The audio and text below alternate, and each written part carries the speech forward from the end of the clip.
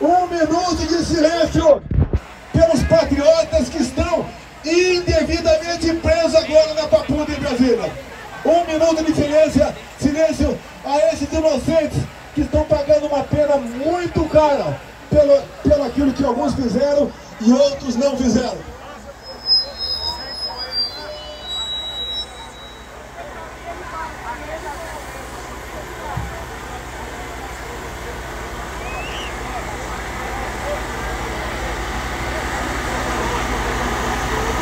Muito obrigado. Vamos em Goi... Goiânia, 27 de outubro de 2023. Deus, pátria, família e liberdade.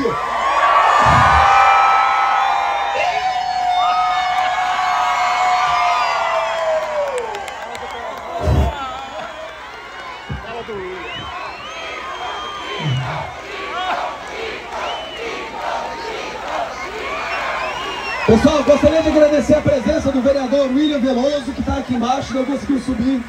E dois recados, dois recados. Amanhã, no Centro de Convenções, nós teremos o lançamento